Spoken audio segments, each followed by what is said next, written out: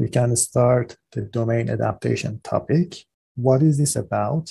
You can sort of classify this under the umbrella of transfer learning, but uh, it's a little bit different. So you need to be a little bit more relaxed in how you define transfer learning. The transfer learning that we are used to are the type of transfer learning that we were doing with BERT language model, GPT type of language models, or even the paradigm of pre-training on, let's say, ImageNet type of data and then transferring the weights to a downstream task. So the transfer learning in the narrow sense that we are used to is the paradigm of pre-training fine-tuning. Domain adaptation is a little bit different. So you need to be a little bit more relaxed and in how you define transfer learning. But the concept is you have some data which are labeled, you have plenty of them, you have some unlabeled data, and uh, you don't really care about the type of data, the source data that have labels. You want to minimize the risk of making errors on the target data, which has no labels. So think of this scenario that you want to build robots or you want to do self-driving cars, you can collect a lot of data in a simulated environment. You're going to be able to simulate your physics. You're going to be able to simulate how light is going to transfer. You're going to be able to collect a lot of data. That data is going to be labeled, but there is going to be a reality gap between simulated data and what happens in the real life with a real self-driving car or with a real uh, robot.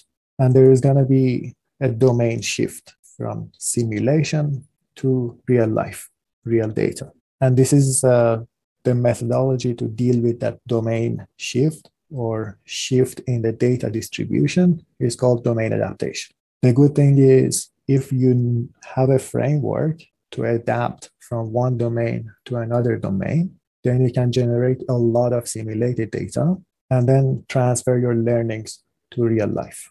That's the idea. Mathematically speaking, what are you doing? You can have unsupervised domain adaptation. And let's start simple with the task of classification. And we just we saw a lot of the problems can be uh, considered under the under the umbrella of actually class, classification. So this is a large class of problems that we are attacking. You have a source domain. S stands for source.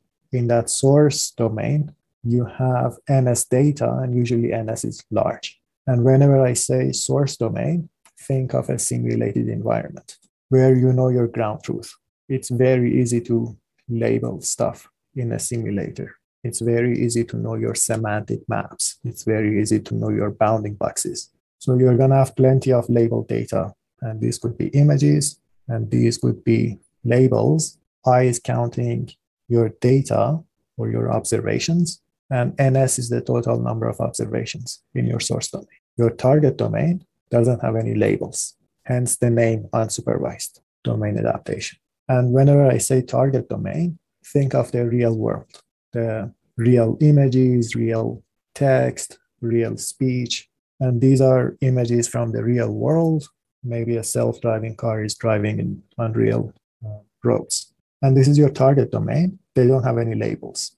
And you have NT of them. NT could be small, could be large, but NS is usually large. You have a lot of them.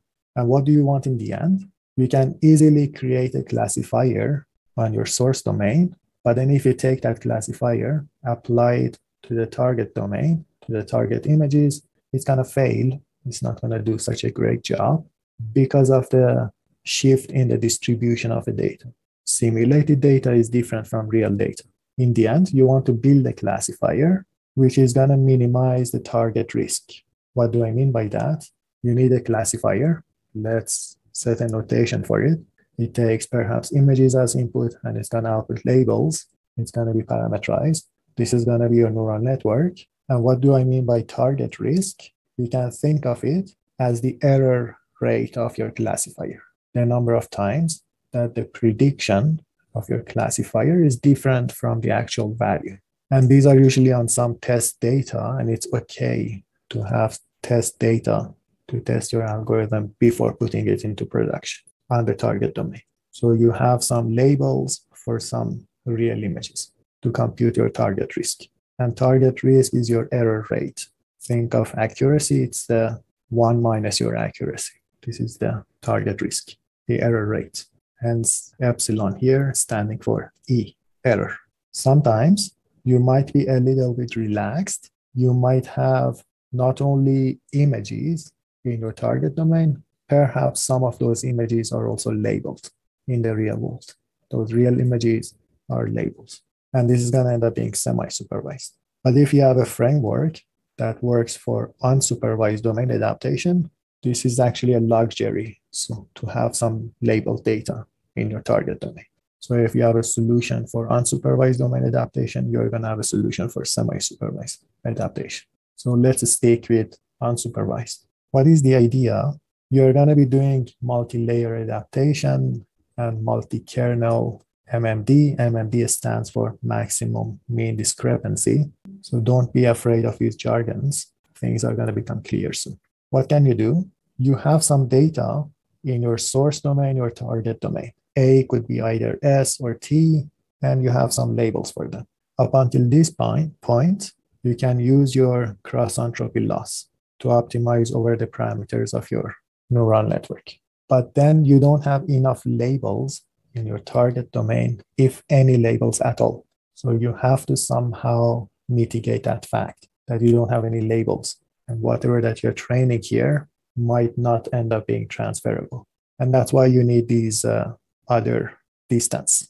And this is multi-layer because you have perhaps layer six, seven, and eight. You are considering those from your neural network.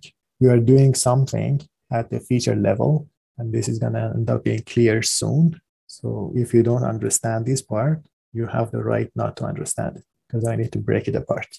The entire contribution is going to be this red notation. The rest of it we know how to do. What do we have? You have a neural network. Maybe some of your weights are frozen. Maybe you're doing transfer learning in the classical sense, or maybe they don't have to be frozen. You can fine tune them. And then your neural network is going to have two heads. For one of the heads, you know the corresponding labels. For the other head, let's go to the extreme and assume that you don't have any labels to train this. So these guys, you have labels. These guys, you don't have any labels it means that these weights are not going to be learnable unless you somehow transfer features from the source domain to the target domain. But once the training is done, then uh, it is game over. You show it an image, you look at this head, and then you're going to read off the corresponding labels or predictions. It's all about training uh, these weights without having any any labels, any corresponding target labels. Okay, so far so good. Now let's go back to this notation. You have some images in your source domain. These are simulated images. You take them, you push them through an architecture. This could be a convolutional neural network. And then you're going to stop at some layer, maybe the sixth layer, seventh layer, or the eighth layer of that neural network. And this is going to give you some featureized images from the source domain. So these are images. You push them through neural networks. These are going to give you featureized images. And these are these uh, green circles that you see here. These are your H. You do the same thing for your target images. You push them through your neural network. You stop at the L layer, and these are the featureized target images. Now you have two sets, NS and NT. Now you need to write down a distance on two sets. You're going to borrow uh, an idea from kernel-based methods and you're going to say that K is a convex combination of M kernels. What is a convex combination? You have a bunch of weights that add up to one, they are positive, and K is a linear combination of those kernels, KUs. What is KU? It could be a Gaussian kernel.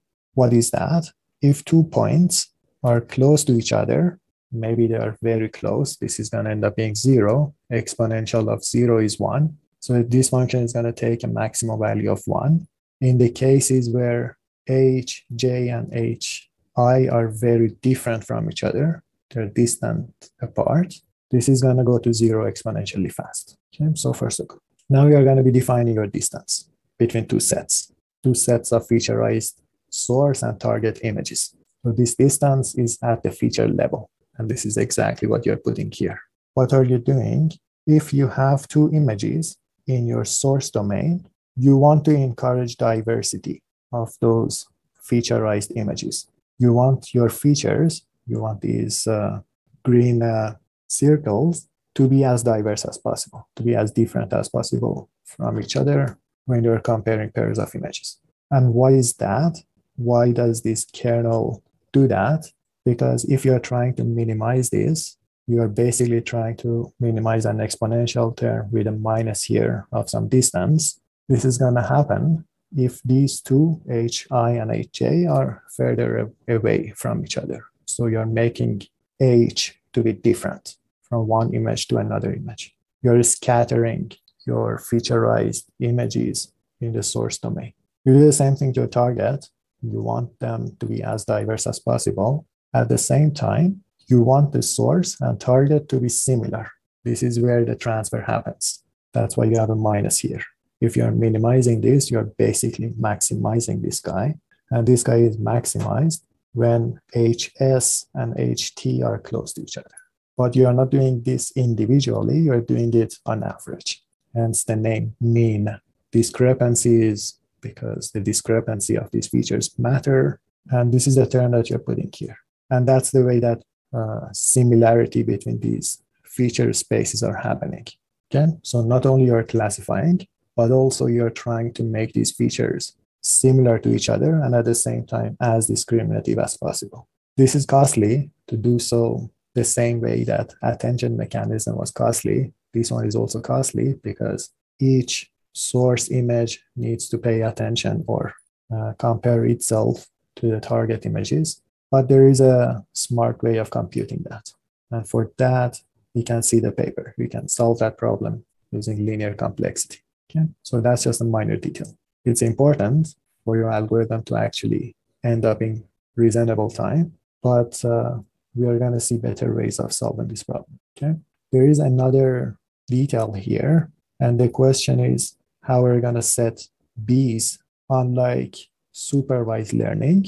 Here you don't have any validation data to set these hyperparameters. So you can actually learn betas by maximizing over k. k is basically a linear combination of your ku's. And if you see here that you're saying maximizing over k, you're basically maximizing over betas. And then this is the estimation variance of your data. So don't worry too much about this.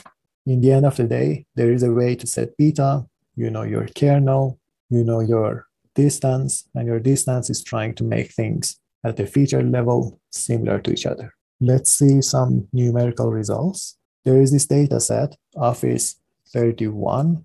It's a benchmark for domain adaptation. So make sure that you explore that data set. In that data set, you're going to have images of products uh, from Amazon, from Amazon's website. You're to have images taken by a webcam, or you're to have images taken by a usual camera. And then you want to do transfer. You want to transfer from Amazon images to webcam images. You want to transfer from DSLR to webcam images and back and forth. And uh, DAN, Deep Adaptation Networks, is doing the best among the existing methods. What else? You can actually transfer across data sets, perhaps Office 10 to Caltech. Office 10 is similar to what you have here, Amazon Webcam DSLR, and Caltech 10. You can also take a look at it. And then you can transfer from Amazon images to Caltech 10 images webcam images to Caltech 10 images, and so on. And this one is also giving you the highest accuracy. But I want to end with this sentence. This is actually a theorem in that paper. We don't have time to cover the proof, but this is actually a very important one. When you are minimizing this maximum mean discrepancy, it is actually equivalent to maximizing the error of a classifier that is classifying between source and target. And you, that classifier, you can actually think of it as a discriminator. which is discriminating between source images, target images. And what you're doing by minimizing this distance, you're actually trying to make that discriminator make a mistake. And this should ring a bell. We have been doing this framework for a while now when we were doing generative adversarial networks. We had a generative process that was trying to make a discriminator make a mistake. Here, things are happening at the feature level. You want these features not to be discriminable. You don't want these features to give away information about you're looking at a source image, you're looking at a target image. You want these features to be confusing. You want these features not to be discriminable. And that's exactly what you're doing with this framework. Any questions so far? Was everything clear? Okay, perfect.